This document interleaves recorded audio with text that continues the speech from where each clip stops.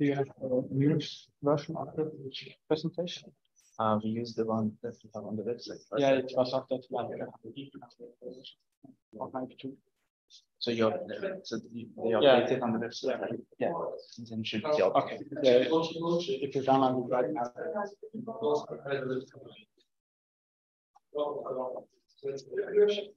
Details oder Details hier, das das werden het niet bij de schetsel mengen. Vanuit door je hebben. Dat is dus echt mocht het zich Vindt dat in het aanwijzen te zien is, is dat niet rond aan. Zich het zo. Dus het is goed door het maken. Das dritte noch, wenn es noch als Fach ist schön, den So kann man schon zu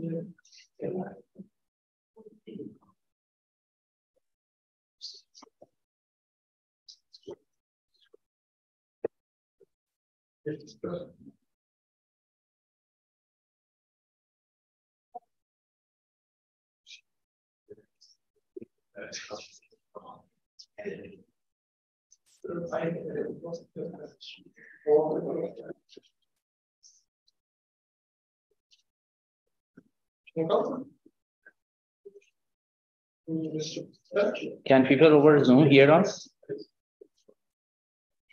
Yes, Mohammed, we can hear you. Okay, I guess uh, we are ready. So we, Is uh, Julian around? yes. Julian, please come. Uh, the live streaming is already on, so whenever the student ready, Julian can introduce the student and we can go ahead. Yeah, maybe you can start. So um, our next presenter is uh, Jacob. So he's in the sixth semester of uh, computer science uh, bachelor at ETH, and he's uh, mostly uh, his main interests are uh, robotics, uh, system programming, and embedded systems. And today he's going to present the GRIM-Filter uh, paper.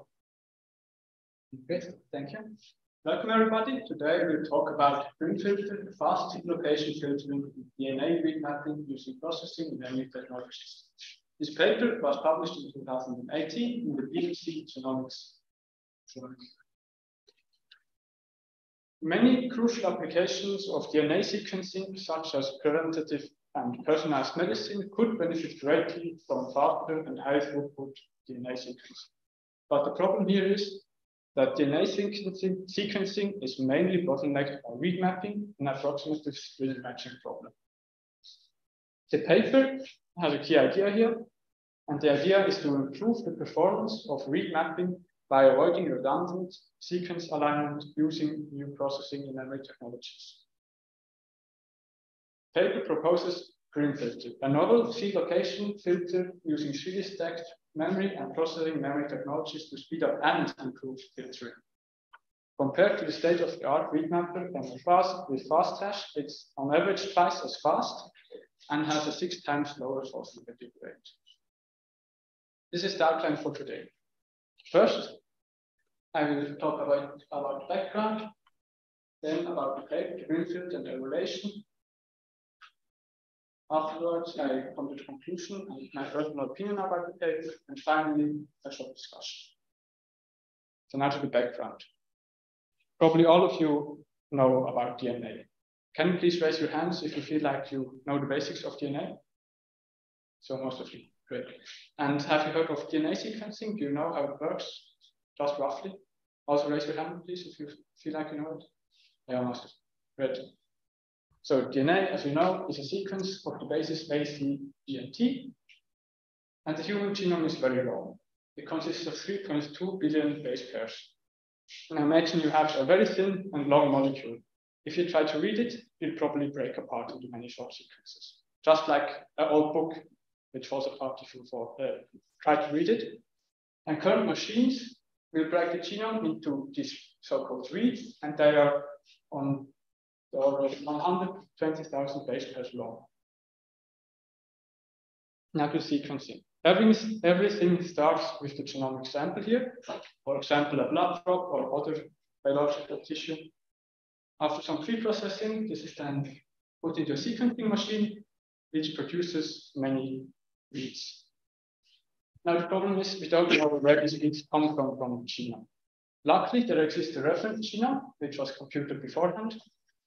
And then we can try to look where they match onto the reference genome. If you know where they're coming from, we can determine the genomic variants. This is, for example, important if you know a person has the gene type 8, for example, he might be susceptible for heart conditions, or also in personalized medicine, if you know his genes, we might know which side effects he might suffer from and choose different medication instead.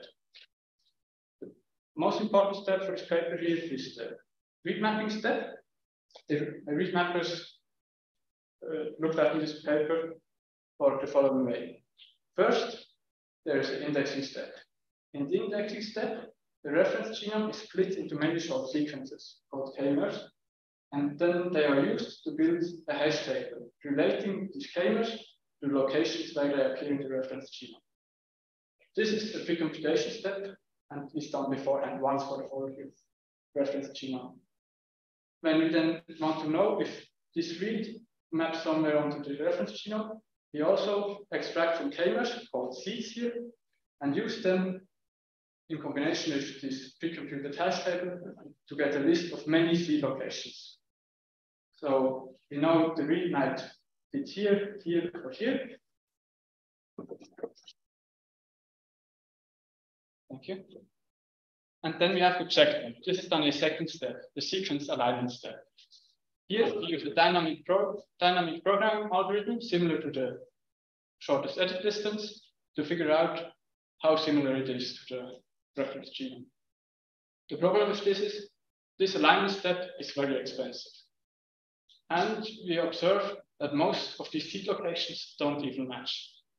So we do many, many calculations which are unnecessary. The idea is to discard these locations as early as possible without doing the sequence alignment step. That's why there's commonly a pre-alignment filter before the sequence alignment. The job of this filter is to look at these many seed locations and remove them if they're obviously bad. GRIM-Filter is such in pre-alignment filters. It's not the first, there are others like GateKeeper or shifting Hamming distance, but GRIM-Filter is a bit special. It's special because it uses 3D stacked memory. Here we see an image of an HBM module and it consists of multiple layers of DRAM stacked on top of each other. They are connected using TSVs through silicon vias. They offer very fine pitch, so they have a high internal bandwidth with these layers. Below all of these DRAM layers is a logic die. This logic die is there to control all the DRAM layers above. And also we can put some customized logic in there, and this enables processing in memory. One might argue that it's processing near memory because it's only here, not in the memory itself, but the paper always calls it processing in memory, so I'll stick to that.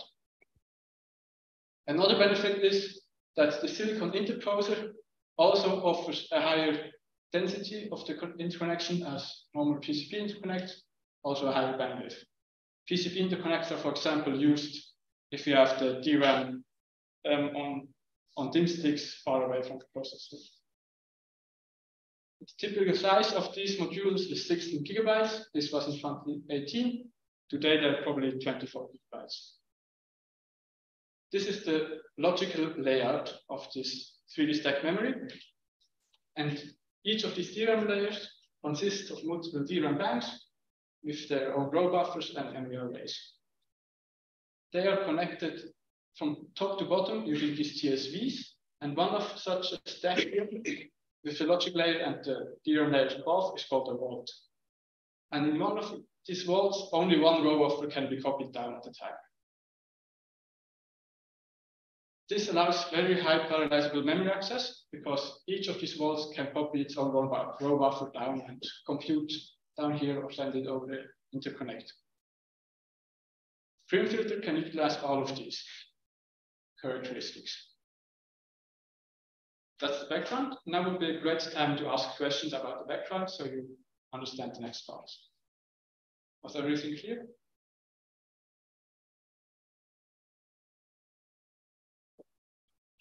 Great, so I will continue. I will explain GRIM-Filter in these three steps. First, the pre-computation, then the filtering, and finally, how it's mapped to 3D stacked memory. The pre-computation. Here you have the reference genome, this is given, and now we split it into bins. For each of these bins, we compute a bit vector. And in this bit vector here, each bit indicates the presence of a token in the bin.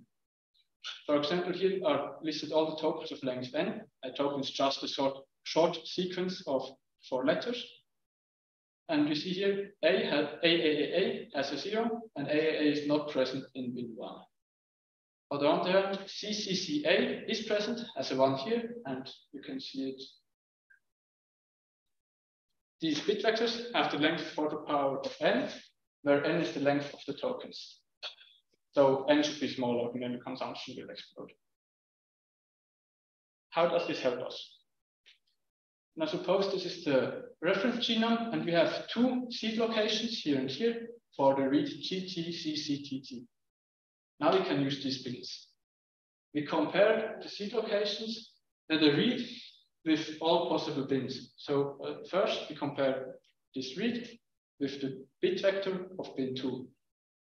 And here we have like one in CCTT. There's also CCTT here, so it's somehow similar. I will explain it later, and we'll pass. And here for bin four, we look at bit vector four. There's a zero here, but it's present there, so it won't. It's not similar, and it won't uh, pass the filter, and will get discarded. Important here is that the read must be completely inside the bin. That is because the comparison only makes sense if the bit vector contains all information of the read.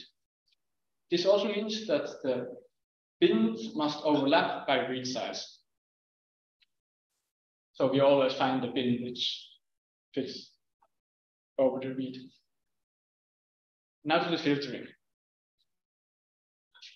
GRIMFilter tries here to compare a read against the bit vector of one of the possible bins. It starts by looking at all the tokens in the read. First, at the first token, takes this token, looks up the corresponding bit in the bit vector, and adds it to a sum. Then it moves to the next token, looks it up in the bit vector, there's a one, so the sum is incremented.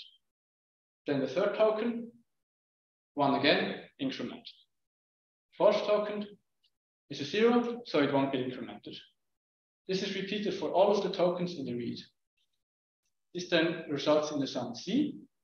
Important to note here is if a token appears multiple times in this read, it will get, the sum C will get incremented multiple times, not only once. This sum C then is compared against a threshold value. If it's larger, we keep the seed location and pass it onward to the sequence alignment. And if it's lower, we discard it. This result here is stored in a seed location filled with bit mask for later use. The discarding doesn't really happen at this step right now. Now it gets a bit confusing because in the paper, they labeled this one in this order. So discarding is a positive result and keeping is a negative result. So what happens if you have a false negative? So a seed location which was kept and passed onward to the sequence alignment step and fails there. This isn't really a problem. It just means our filter isn't that good. So false negative rate should be as low as possible. What happens if a false positive? So a seed location which got discarded, but would have passed the seed, uh, sequence alignment. This is very bad because we just threw away information the seed location would have been a match and we threw it away too early. So now this poses the question, how do we choose this threshold such that we achieve this zero false positive rate? Alignment usually has an error tolerance E, approximately 5%. So it, uh, when we try to map a read to the reference genome, it allows for some errors. And interestingly here, more errors results in a lower sum C. The key idea here is to to overestimate the number of errors in a read just passing alignment.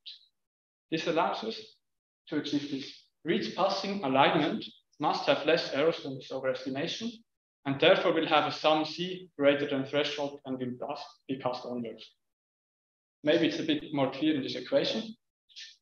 Here, this is the number of tokens in a read. And over there is maximum numbers of maximum number of errors in a read allowable if it has more than one pass sequence alignment. And this times n here is necessary because one error in the read can affect up to n tokens simultaneously. Now to uh, step, take a step back and look at the big picture again, how it's integrated into read mapping. It starts with the read. This is then first processed by the first step of the read mapper, the indexing and seeding step. This step produces many seed locations. These are then, together with the read, passed to the GRIM-Filter, filter bit mask generator. This is the part where the summation takes place and the threshold check. This results then in a seed location filter bit mask. So each bin here has a bit, and the bit indicates whether the threshold check was passed or not. This is then sent to the filter seed location checker. This is the part responsible for filtering. It's located between the indexing step and the sequence alignment step. For example, the first read here, it's a one, so it's passed onward. Second one, also one, also passed onward. And the third one here, it's a zero, so it gets discarded. Finally, this sequence alignment step produces then the correct output mappings. Now, it might be a bit weird that the Grim filter is split into these two parts here, but it has a reason because this part here is done using processing and memory technologies. Do you have any questions until now? Yeah? So particular is why the token length is four. Sorry? Why is four the length token? How does the length? Oh, by its four. Yeah, it's just an example. It's like a design parameter in the paper, and they explore it later. I won't talk about this, but in the discussion, yeah, it's just a short one. Uh, it must be small, and there are some trade-offs when it gets larger when it gets too small. And later, I believe they chose five. Any more questions? Now to mapping to the 3D stacked memory. GrimFilter is designed to fit 3D stacked memory well. It does this by only using simple operations like increment and comparison. Additionally, all the bins can be checked in parallel because they're independent. Now remember this logic layout of the 3D stack memory again. We now have to put our pre-computed data, all these bit vectors, somewhere in here. We do it column-wise. This is done such that we can, when we read one row buffer, we access all bits of many bins for the same token. So we can earlier in the step, we accessed like the bit for a certain token and then added it. Now we can do this for many bit vectors in parallel because they are all loaded like one row at a time. In the logic layer, we have some specialized logic module for each bin. Here we have everything we need for this incrementing, incrementing and threshold check. In total, we can copy 4096 bits at the same time in this whole memory to the bottom. So we have 4096 incremental lookup tables, seven bit counters here for the uh, for storing the sum, and then comparators for the final output value. Seven bits here because uh, you only look at very short reads in this paper, and seven bits is enough to store it. Luckily, GrimFilter, this metadata computed by GrimFilter only uses 3.8 gigabytes, which is well below the 16 gigabytes offered by this memory. Now to derivation. As I said, there are a few design parameters we have to fix. For example, token size of 5 is chosen here, and the bin count of 450 times 2 to the power of 60. This is well explained in the paper, and they did some experiments, and all the graphs are there but I won't go into detail here. I have some backup slides if you're interested. Stream is then simulated using in-house 3D stacked DRAM simulator called Ramulator and evaluated on 10 real-world datasets. They're from the 1000 Genomes project, and as I said, importantly, all the reads are of length 100.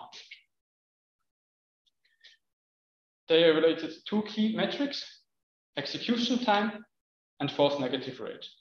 They are then compared against the state-of-the-art read mapper, mrFAST, with FastHash. To the results. The first, the execution time is on average twice as fast as mrFAST, as seen here. And in all of the data sets, it's faster. Some is, is even quite a bit faster, but it's faster on all of them. And the false negative rate is much lower. That means the filter works better. On all of them, on, on average, it has a six times lower false negative rate. So now the conclusion. There are many problems which, such as uh, preventative and personalized medicine, which would benefit from faster DNA sequencing, and DNA sequencing is bottlenecked by read mapping. This paper proposes to improve the performance of read mapping by avoiding redundant alignment using pre-alignment filter, especially using processing in memory technologies. It proposes GRIMFilter, a novel seed location filter utilizing 3D stacked memory and processing memory technologies to speed up and improve filtering. This results in a filter which is twice as fast and has a six times lower false negative rate than Now to the strength. I believe the main strength of this paper is that it is the first to use 3D stacked memory for pre-aligning filters, so it explores truly novel design space. Additionally, I, in my opinion, it's well, this, uh, well suited for processing memory. It's designed to use the characteristics very well. And it's orthogonal to other attempts of improving read mappers. That means other papers trying to improve read mappers, for example, by improving the sequence alignment step, can be combined with this one, and then we have even better results. The design parameter space is explored and decisions are well explained. And finally, the code is open source, which is always nice. Now to the weaknesses. GRIMFilter is only tested with very short reads. This means it's limited to Illumina machines, which produce, for example, reads of the length 100 to 300 base pairs. So these are even longer than the ones which was tested, but it's close enough. PacBio machines, for example, produce reads in the length of 15,000 base pairs or 20,000 base pairs, so much longer. And Oxford Nanopore Technologies claim that they have machines which can produce up to 4 million base pair reads. And some information in the paper is never mentioned. For example, the bin size. It's only, only bin count is mentioned and not exactly how they overlap. So it's a bit unclear how large these bins actually are and it could be interesting to know this. Also, the exact memory layout, for example, how large these row buffers are and how many volts there are, is not really mentioned.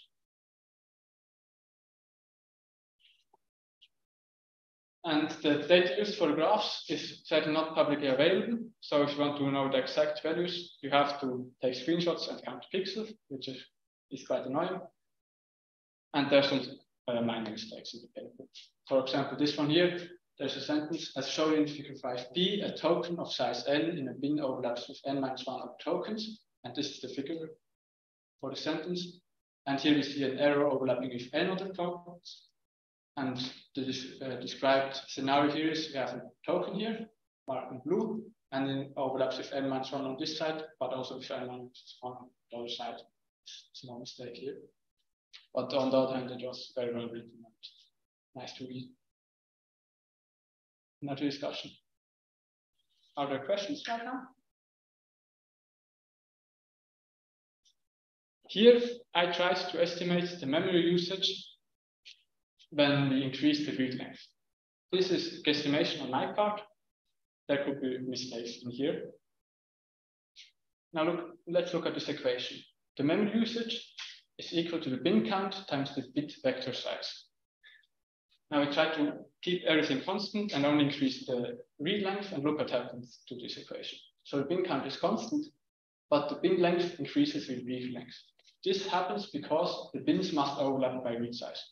If you have the same number of bins and they have to overlap by more, then they get long. Now look, let's look at the effects of this fact here. If you have a bin of size 100, it has 97 tokens.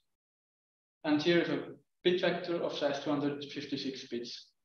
And there are many more bits than tokens in here, so there will probably be many zeros and only a few ones. But on the other hand, if you have a bin of size 1000, it has many more tokens, and the bit vector didn't increase in size. That means that is that there are probably mostly ones in here. This is bad because only zero help us filter out bad seed locations. This means that the ability filter decreases with increasing bin size. To combat this, we could increase the token size to keep the expect, expected bit vector of occupancy constant. So we try to keep the same number of ones compared to the numbers of zeros in there. And I tried to estimate this using a script which generates random bins and then computes the bit vectors and counts how many ones there are. And in the configuration used in the paper, they have an occupancy of 3.3 percent, and the memory usage is at 3.8 gigabytes. If we now increase the read length, we also increase like the occupancy and decrease the filtering strength. And to combat this, I had to increase the token length to six, which uh, to kind of match these as closely as possible. And this results in a memory usage of 15.1 gigabytes. So already quite close to the maximum of 16 gigabytes allowed for the memory. And now with 5,000, it already increases to 16 gigabytes, and with 20,000, 241. So it really explodes. Do you have any idea how we could deal with long tweets?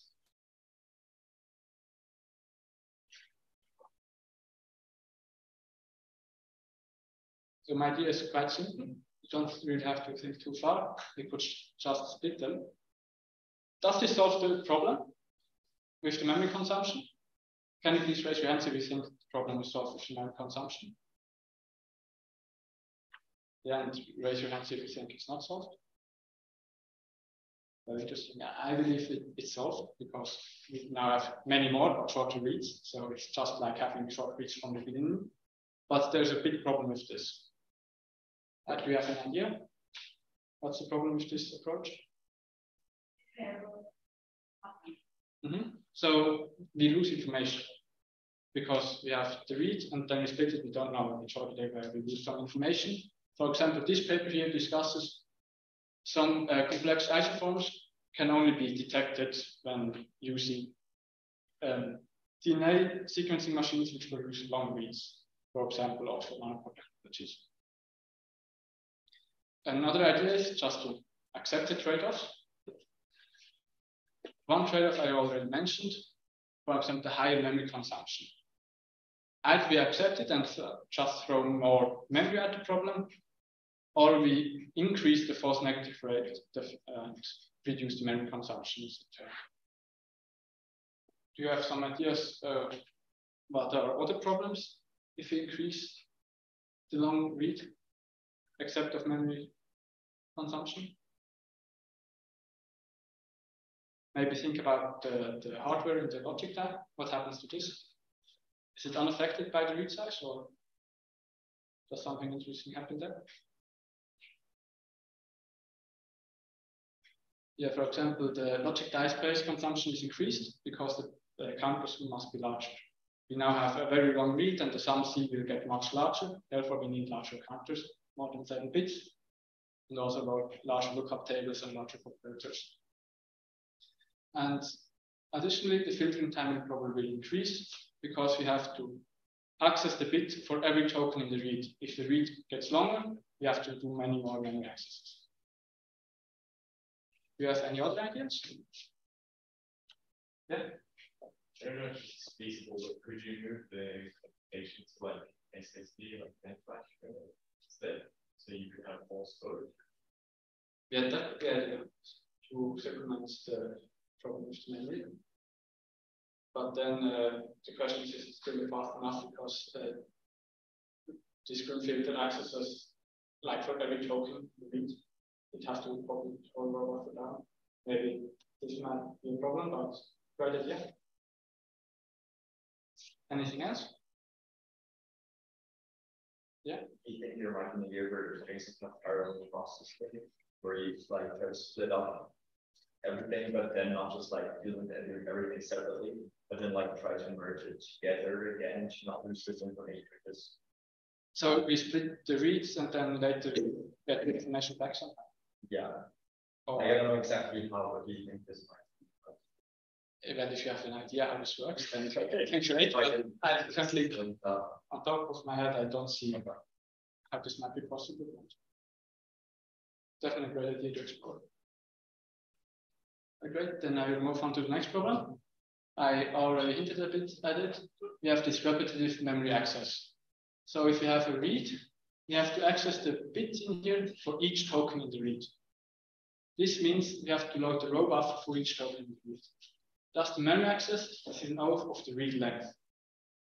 And this might be significant, significantly more than, this, than the distinct token count, for especially in repetitive DNA, which is quite common. For example, look at this read. It consists only of A's, and there are many AAA tokens in here. And for each of these tokens, we have to access this bit and add it to the sum. In this case, it might be not the problem because the row buffer is copied down and it stays there. But if you have a short repeating sequence here, we might have like five rows which get accessed and they have to be accessed many, many times just to add one here. Do you see like a solution how we could improve this to avoid this repetitive accessing of this bit? So my idea here was to count the tokens first in a first step and then calculate the sum later so that we do not access for every token here, but we count them first here and then add the sum to the tokens here if there's a one. Yeah. But also simulate trees for life of tokens will be such that um, be total less first. So you mean we could increase the token size? Yeah. Yeah, that would reduce the number of access here, but also increase the bit vector size extremely fast because it's like 4 to the power of n. So if you have the memory, you could do this, but probably don't have to spare.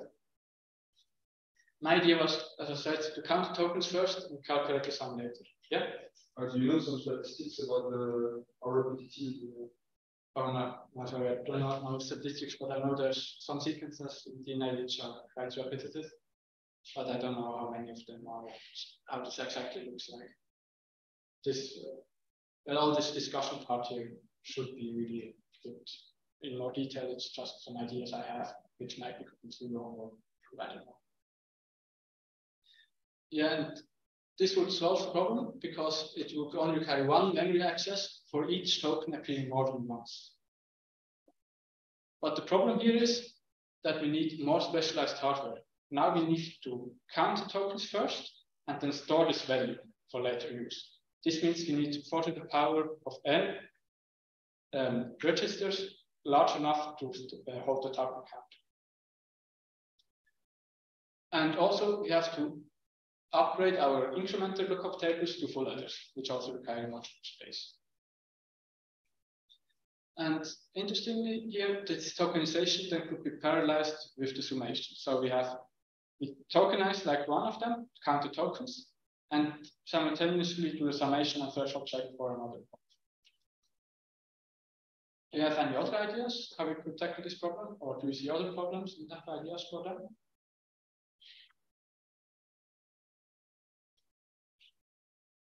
Yeah. I, I don't have another idea. I'm just confused. Uh, oh, yeah. You, you said you counted tokens. Is yeah. it refer to itself?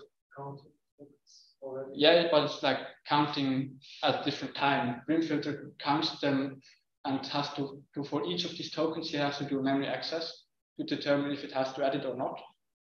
And I uh, propose to add these tokens first here. Yes. So like all of them are A's, so I know AA's come, uh, appears like 100 times. And then here, instead of reading this bit 100 times and adding 100 times, I read it once and add 100 at a time. So you reduce maybe the access to the big vector. Yeah, exactly. Okay. And yeah, I, I think this could help because it could be that some reads have many more tokens if you all look at all of them instead if you just look at which one really appear in there there are like five or, or a few which appear like in this case there are hundreds of tokens this way but all of them are available are there any questions about like design decisions should i talk about this a bit or yeah in general, how does like, I mean, first, the, the reads aren't always completely accurate, right? Yeah. There might be errors in the meeting or just not quite uh, exactly how they should be. Does GRIM-Filter address this or is this part of the pre-processing step? um, the pre-processing is done on the, the on Like the filtering step? Because, I mean, isn't it possible that we might filter out parts that should keep because they might have error in them? so I probably should go back to the slides where I talk about the threshold value.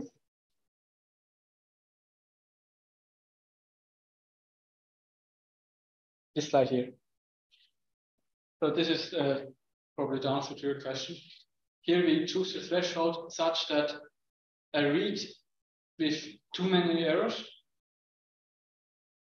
Wait, I have to think about how I formulate my sentence here. So here we have like error tolerance. The sequence alignment accepts some errors, and we try to choose the threshold such that we do not discard seek, uh, seek locations which will pass or which might pass. So we do not discard information too early. And this is done by this overestimation of the numbers of errors in trees just passing away. But, but so we know based on the machine views how or not can we approximate how many errors will be, or is that just based on Um, I, I think the error tolerance is like fixed in the remapper, and there are other error correcting steps before remapping, which might differ depending on the machine. But if the machine makes too many errors, it could be difficult for the remapping in general. So I think this is not just a GRIM-Filter problem, but a general problem with remapping.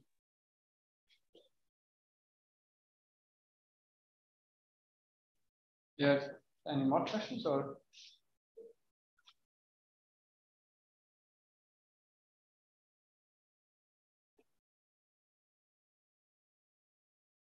Well, then I'm finished. I want to thank my mentors for their help and thank you for listening.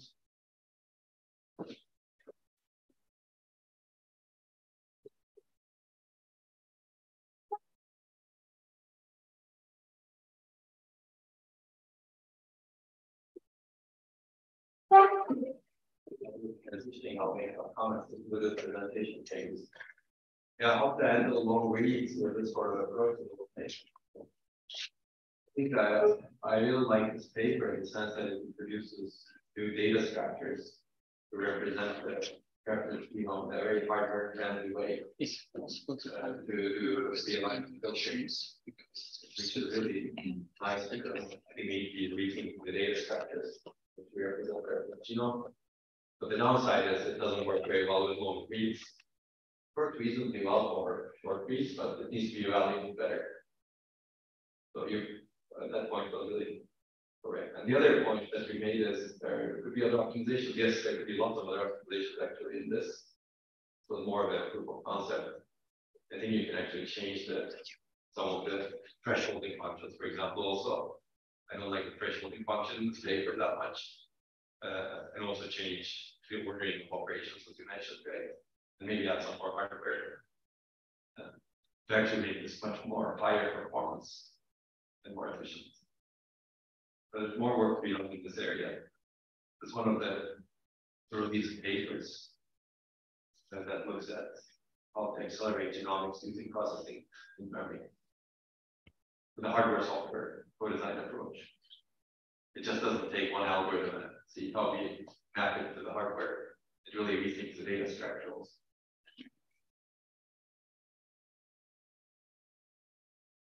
Well, I feel it's understudied. So as we want to actually do a lot more study work here.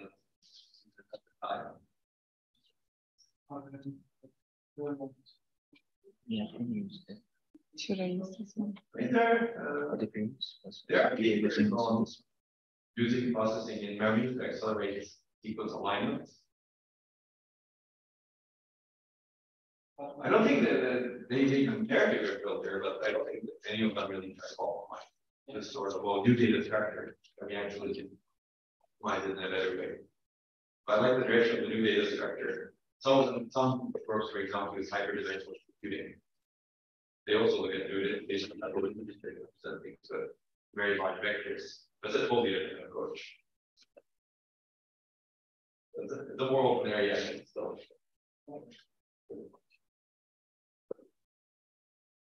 Maybe you read or something. Are there videos? Directly about um, that's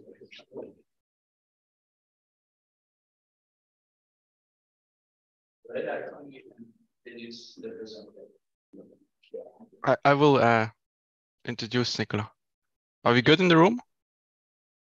Yes, yes, yes. Go ahead. All right, great. Yeah, hi everyone. It's my pleasure to introduce our next presenter, uh, Nicola Lohr. He's a second year uh, computer science student at ETH. He's going to present SeGraM, another very exciting genomics accelerator paper. Please, Nicola, take it away. Thank you for the introduction. I would like to welcome you all to SeGraM, a universal hardware accelerator for genomic sequence to graph and sequence to sequence mapping. Uh, if the remote works, then we just continue. i Um, okay, sorry.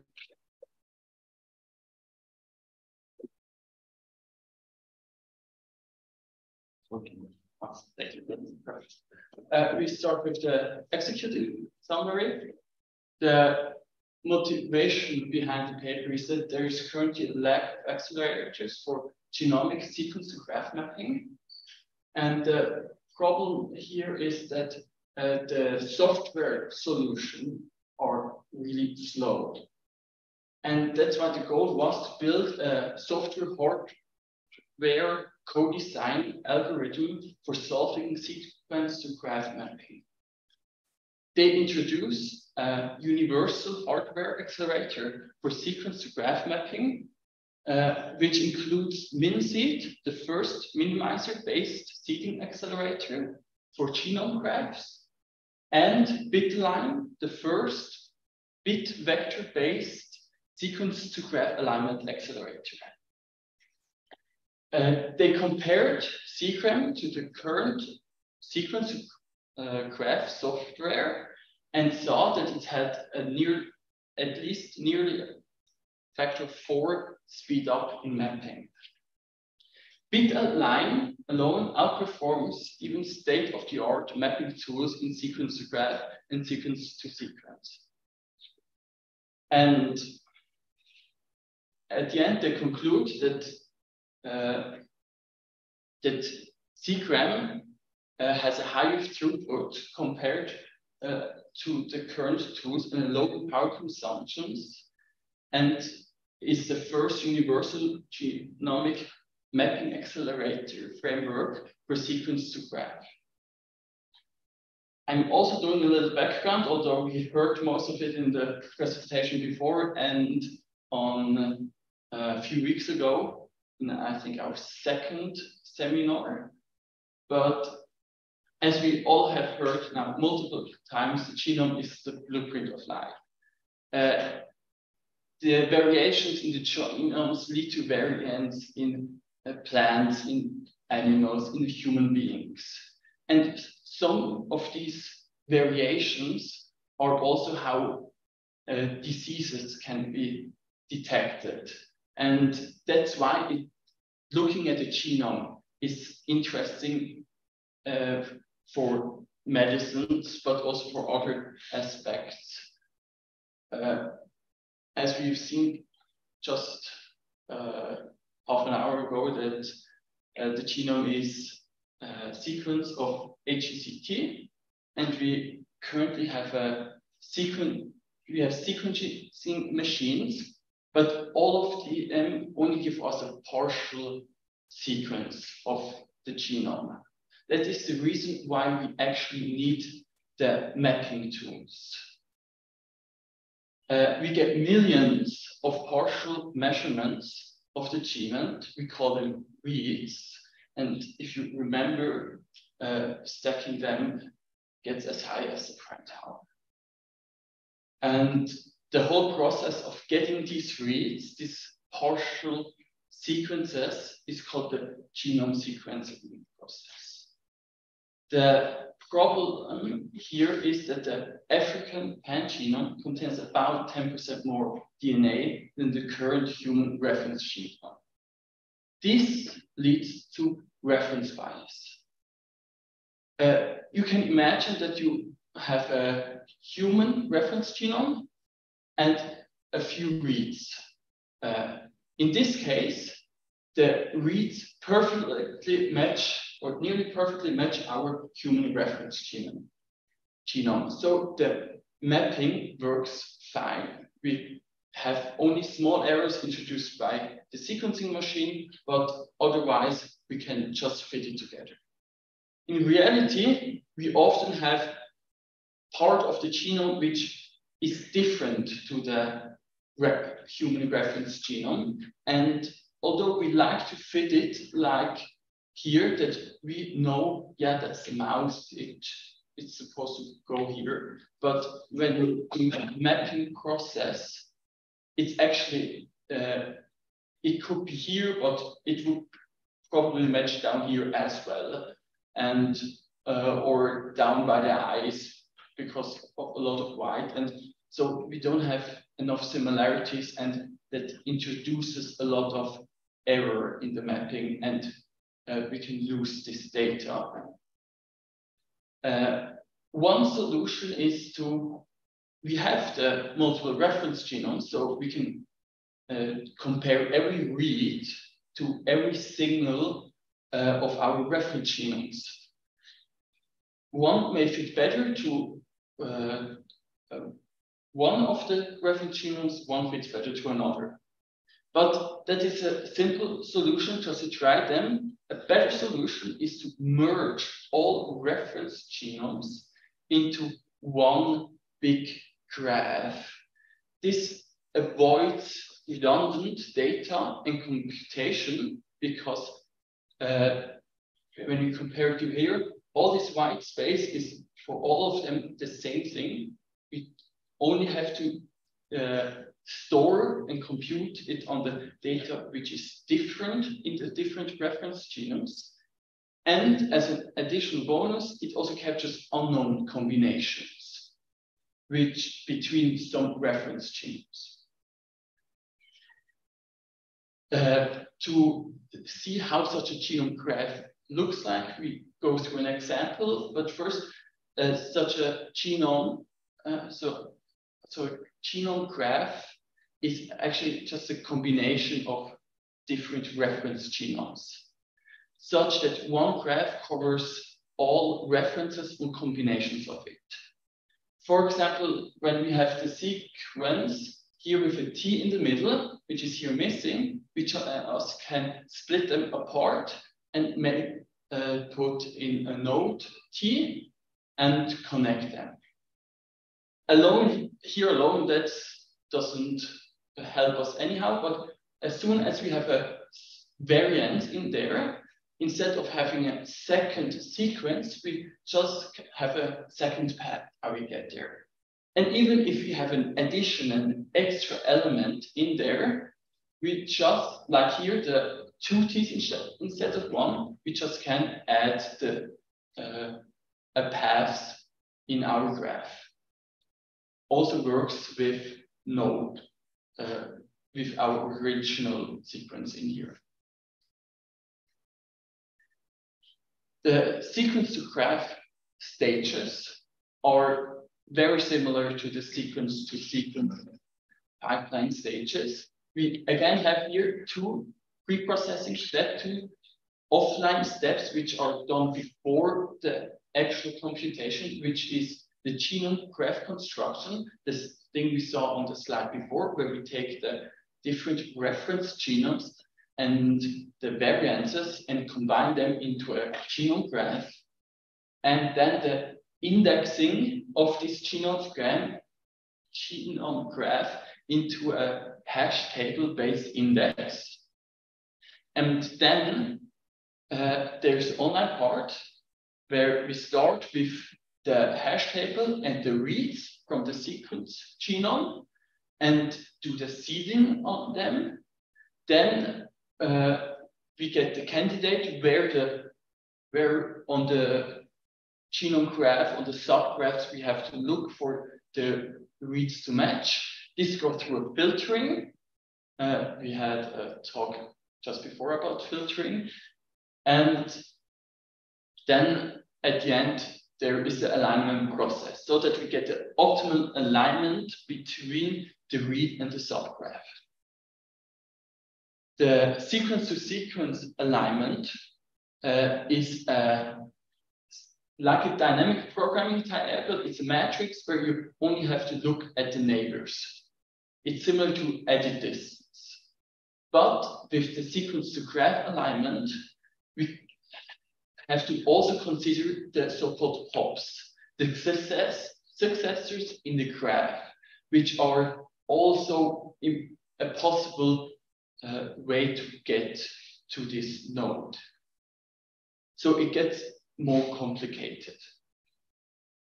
But uh, knowing this, their goal was to design a high performance, scalable, powered area efficient hardware accelerators which removes the bottleneck in both the seeding and the alignment steps of the sequence to graph mapping, but still support short and long reads.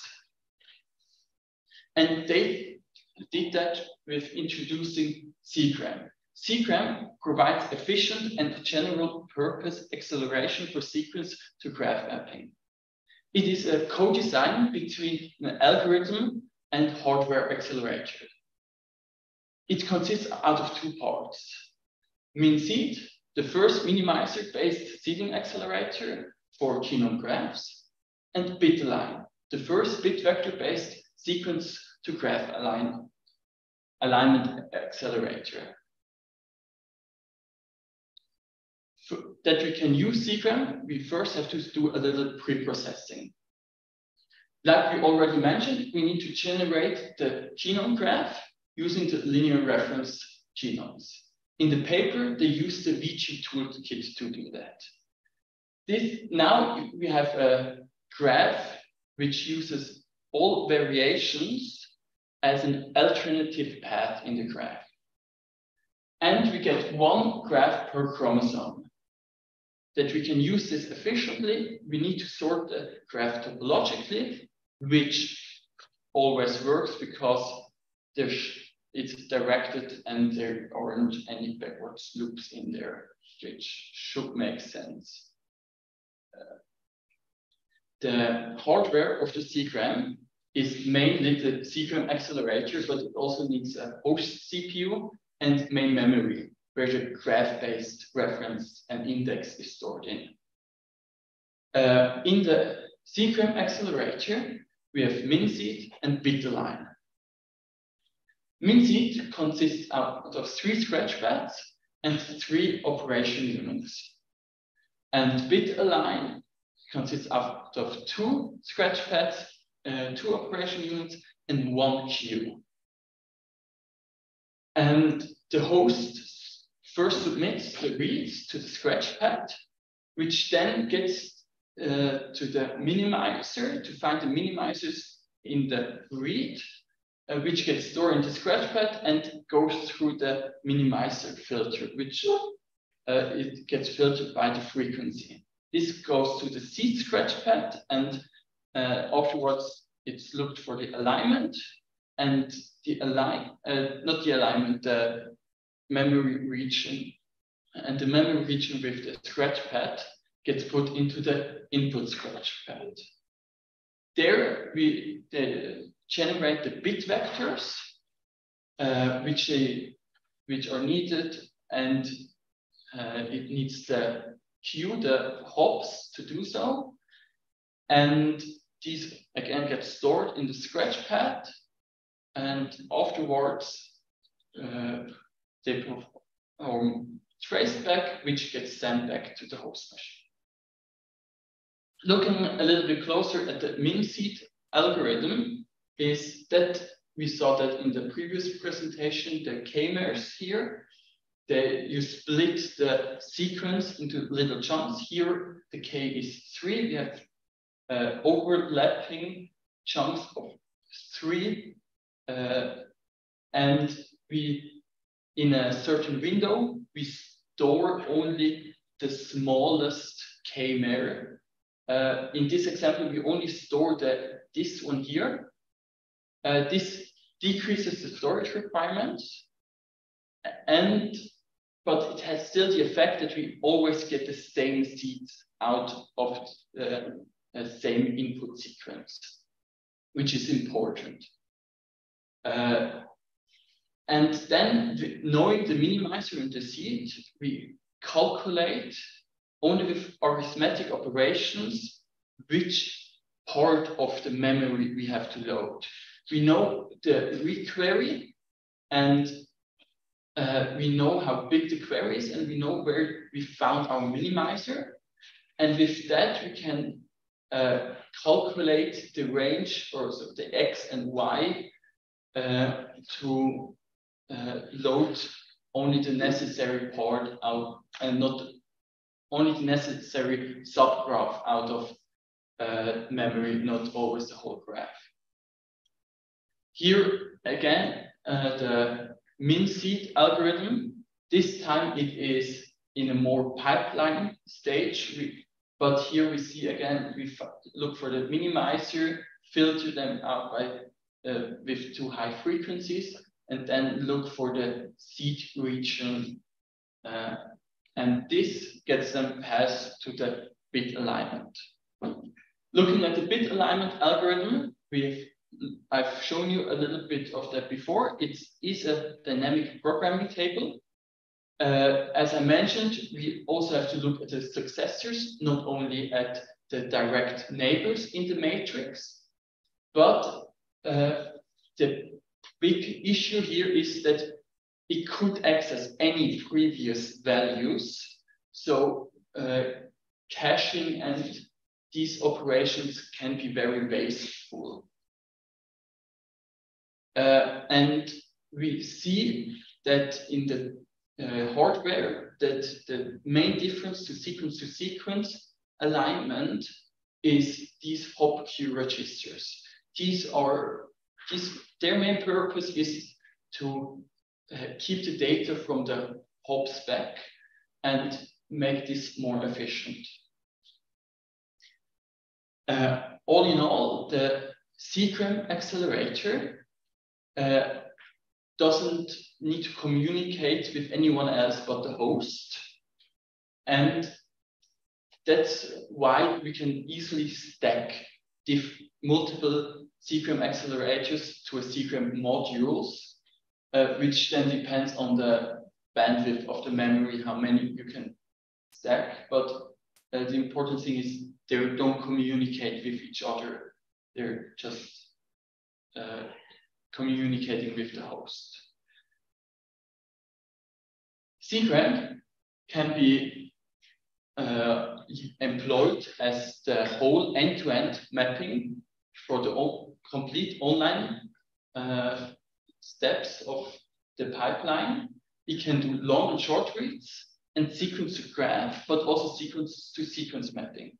Sequence to sequence mapping is a special case of sequence to graph because uh, it's just no successors, no extra, everything just linear. That's why it always also works for sequence to sequence, if it works for sequence to graph. the BitAlign can also be just used as a standalone uh, sequence to graph aligner and can be coupled with any seeding accelerator. Similar, MinSeed can also be used as a standalone seeding accelerator and be coupled with any alignment tool or accelerator.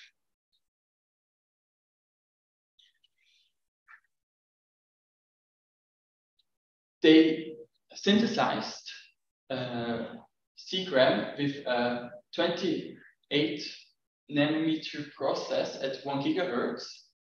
Uh, and for us important is we have, they compared afterwards to the results they got with the Intel Xeon uh, CPU. And we see that the difference in size and in power consumption is very much in favor of SeGraM. Additionally to that, uh, when we compare it to GraphAligner and VG, it also has a higher throughput. Here, it's a logarithmic scale of how many uh, reads, long reads per second can be performed on four different data sets. And on average, SeGraM is 5.9 or 3.9 times faster than GraphAlign and VG with long reads. With short reads, it's similar, but with a little bit higher uh, numbers. Uh, it's 106 or 742 times faster. Uh, same scale again, a different data set though, because of short reads, not long reads. When just looking at BitAlign uh, for sequence to sequence alignment, we saw earlier that we need an additional hop queue register. This is additional costs. But compared to uh, uh, there is no real sacrifice in performance. Then bit alignment is comparable with GenASM and other uh, sequence to sequence alignment tools and outperforms them all uh, in these tests provided in the paper. When looking a little closer at MinSeed, we uh, want to realize that it's not on the critical path of the overall SeGraM. Uh, MinSeed uses the same optimization like the baseline software that it discards high frequency uh, seeds, seeds that come up so often that uh, trying to align every occasion of it just would be uh, a waste of time. And with some threshold, they just discard them. With that, they reduce the total amount of uh, seeds uh, from 77 million to 35 million. Uh, but filtering could reduce that in similar approaches to even 48,000. Still, SeGraM is overall faster because of BitAlign. To my conclusion, uh, is a promising framework for accelerating both graph-based and traditional linear sequence-based genome uh, sequence analysis. MinSeed is the uh, they introduced MinSeed, the first minimizer-based seeding accelerator for sequence to graph. And they also introduced BitAlign, uh, the first sequence to graph alignment accelerator. And they show with the results that uh, hardware algorithm co-design has potential when it about accelerating graph-based genome analysis, and they hope that it inspires uh, future research in this topic. Additionally, uh, CQM outperforms state-of-the-art software and hardware solutions. Uh, yeah, before I come to my uh, discussion or the strengths and weaknesses, are there any questions? Yeah. Um, I just wanted to ask again, um, this almost k-mer is actually calculated on slide 13. Oh, that's lexicographically. Uh, that's okay, yeah. Uh, that's lexicographically, so it's an A. Looking at here, it's we have two K-mers with an A at the beginning and G, but C comes lexicographically before T it has, how I understood it, it just has to be uniform, it has to be the same everywhere, and it has to be distinctive so that you can decide, but, uh, and we are talking here about ledgers, so lexicographically makes sense. You can apply numbers to it and frequency analysis and so and that could maybe have a benefit in some case but they just use simple lexicography, the, the uh, smallest scale. Does this answer your question? Yeah. Yeah. You compare MinSeed to other filtering approaches in the uh, not really filtering, it's like analysis like how many locations it removes this one. This one, yeah. Can there also be implementation so uh, MinSeed and then another filter? Yes, MinSeed is no filter. Uh, MinSeed uh, uses just uh, uh, that, for example, uh, in your presentation you had the A's, a lot of A's, and that when you realize, yeah, some seed comes up so often that trying to match it to everyone, it doesn't work and then you just discard it, just remove it. It's not a real filter because it, when we look at the pipeline from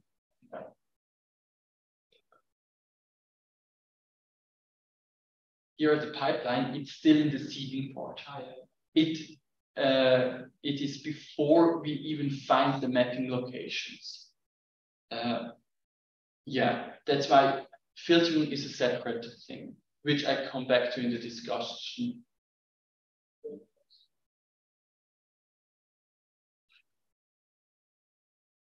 Yes? Um, is the graph that results from this graph yeah. uh, birthing uh, process always unique for certain or um, as it can, can there also be some some of that that uh, like map things. The creation of the graph is not really mentioned, or it's mentioned that they used VG, the VG toolkit, but uh, I believe, or I assume that they uh, removed redundant paths, uh, but at the end, uh, yeah, it could happen, but I think uh, you have to remove them. Otherwise, we just have two parallel paths uh, for the sequence uh, for two genomes, uh, which yeah misses the purpose of having a graph in general. So uh, it was not discussed in the paper, but I don't think that there is much uh, redundant path, many redundant paths in the genome graph which is created.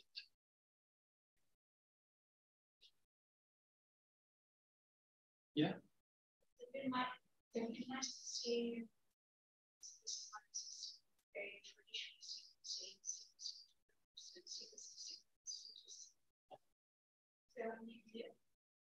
Uh, how long the uh, effort is, the throughput, or what? Space. Changing size uh, the bit line is the main point, and when we look here, it, and when we look here or also at the code, it looks like we have to iterate. We go through the table, and then we go through all the succession nodes. If we can assume that the uh, succession nodes here uh, are all under a certain constant, uh, we have, I think, uh, n times m at the end. So query times uh, graph-based reference of the length of the genome uh, graph. Yes, but uh, there's the constant factor when we have we I remove now the amount of successors if there could be also a variable which can scale uh, as big as possible or uh, then we have an additional s or however you want to call this and we have n times m times s on instead of n times m.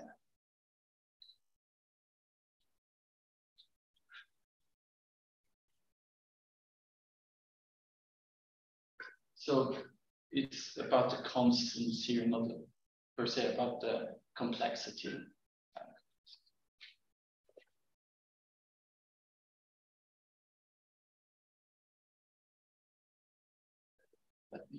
Back here. So uh, then I continue with the strength of the paper. I really liked that they introduced an actual product, an actual pipelining system one can, uh, and not just a theoretical part of it, but actual uh, with results and actual purpose. Uh, I also really like that SeGraM even outperforms the sequence to sequence accelerators, although they are a lot more optimized than the sequence to grab software there currently is. And I really liked that, all processes were very well explained and uh, reading the paper, everything was clear. For me, the weaknesses was uh, that there's a very minimal, minimalistic code on GitHub. For example, the hardware code is not available at all. And the code which is available only is available in uh, so like a proof of concept code without comments, with uh, code commented out, uh, and not in a uh, way I could actually read it and understand it without knowing already what it does. Uh, one major thing for me is that the, there was no filtering here. Uh, like the question from before, yeah, MinSeed does a little bit of a threshold analysis, but no real filtering, although the paper says it's a stage. Uh, uh, it doesn't do that. Additionally, there were lack of figures for some numbers. A few more graphs for uh, certain numbers would, would have helped uh, because the, there were just relative numbers in the text and having a graph there which just says, yeah, we're at 10 by the power of 3 or at the 10 by the power of 1000 uh, could have already helped with the actual throughput numbers, not just the relative numbers to other results. And a similar point is that I think uh, they did a lot of comparisons with uh, software and hardware solutions, but they rushed over a few of the results, which I would have liked to know more about and uh, maybe even know a little bit the background why they assume this change and result. As I have mentioned, there's no filtering in SeGraM. Uh, and we've learned in the second week, if I'm not mistaken, about SneakySnake. Uh, why didn't they just use SneakySnake filter? If that helps remind you what SneakySnake is.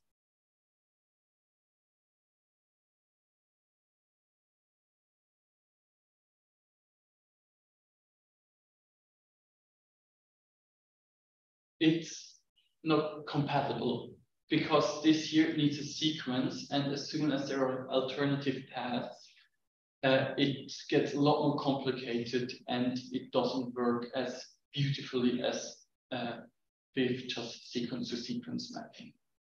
So they, why didn't they use any other filtering? We've heard uh, one just the previous talk about one filter.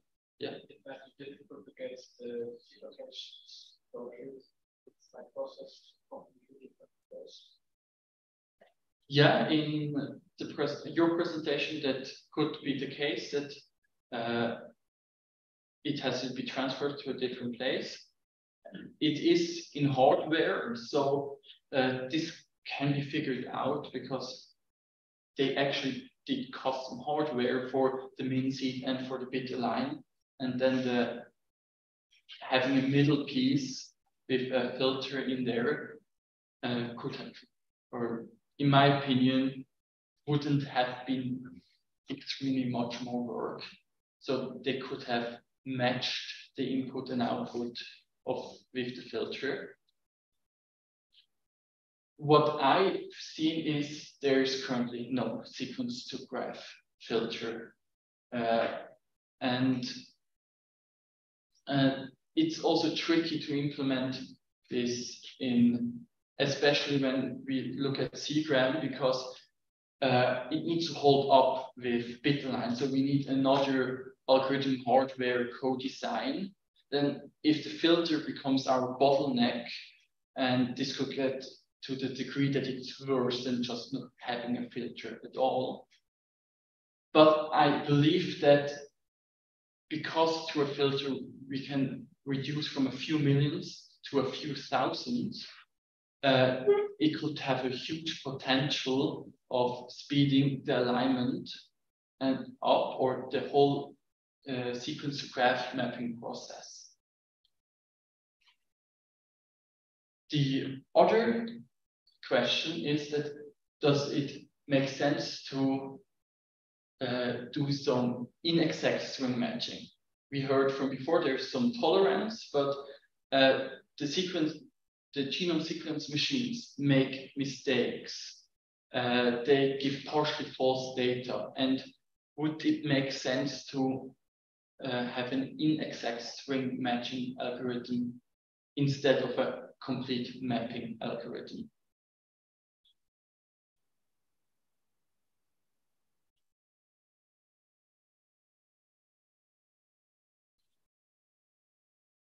There are some advantages there is a research group uh, which designed ISMatch, which uh, they created their own inexact string matching algorithm for hardware.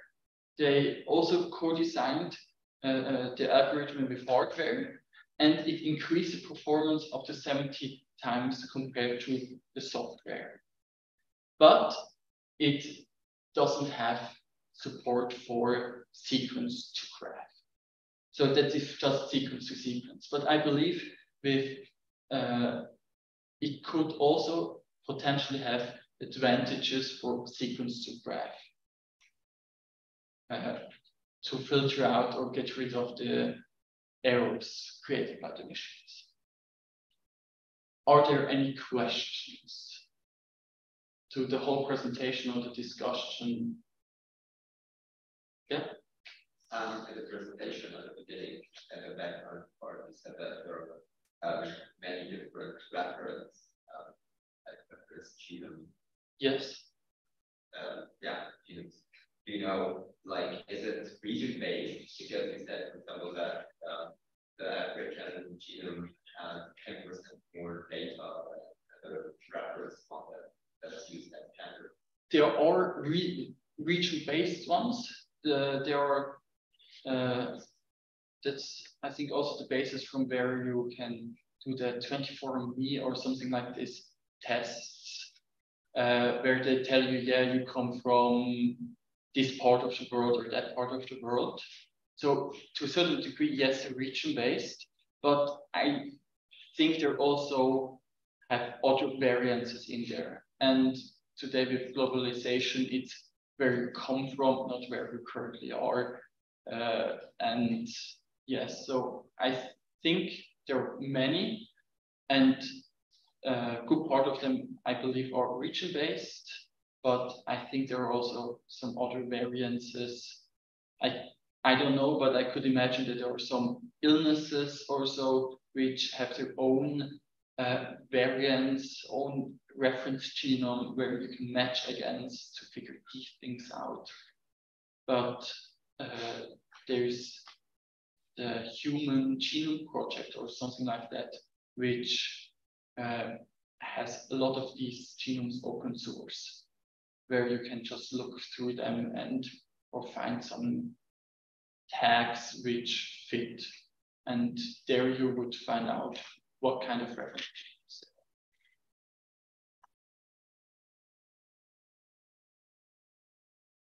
Any other questions? If not, thank you all for listening to my presentations. Thanks for my mentors helping me. Uh, and with that, I conclude my presentation. Thank you.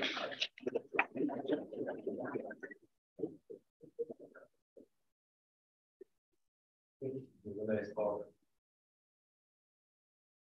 Make couple comments. I like your pictures that show the different variations that lead to a graph-based genome representation. And this is a new frontier as we discussed, right? They do filtering? You're absolutely right, there is no filter that's designed for this purpose. Yeah, it's so, really new. Yeah, a lot of things need to be adapted to really match the sequence to graph mapping. There's a lot more to do in this area for sure. I think you've discovered some example areas that yeah. can be accelerated and also worked on. You know the software side, there's a, whole lot of work in these areas. Yeah, it's uh, also sequence to sequence, you find a lot of results to what sequence to graph. Yeah, it's one of the few papers I found. Yeah, but, yeah, but it's, uh, there's a lot of evidence that representing these variations encoded into a single, let's say, graph-based genome is better for end-to-end analyses, right?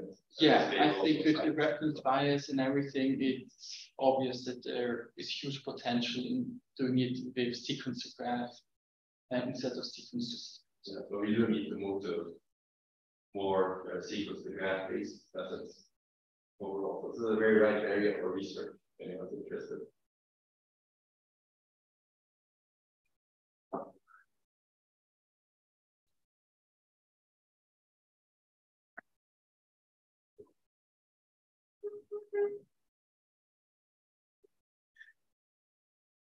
Great on. Is there any announcements anyone has to make?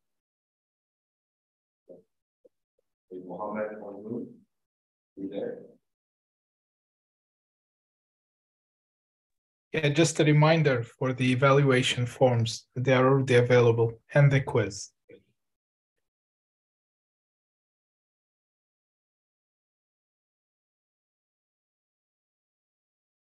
Very done.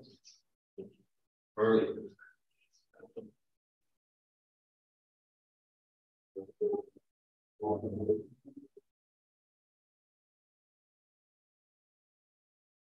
Well,